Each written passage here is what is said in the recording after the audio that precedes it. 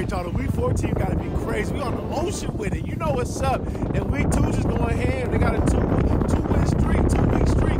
Okay, let me get uh.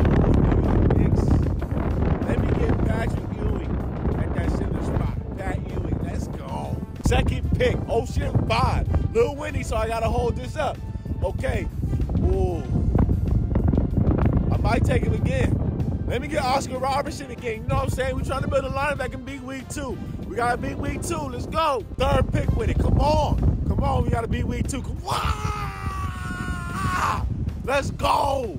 Let's go. Kobe Bryant at shooting guard. Let's go week four. Let's step it up. All right, y'all. Come on.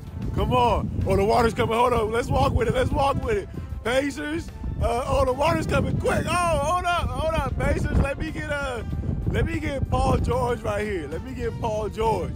Let's get it. It's the last pick right here. That one almost got me. Last pick we got. New Orleans Pelicans, Anthony Davis. AD at power forward.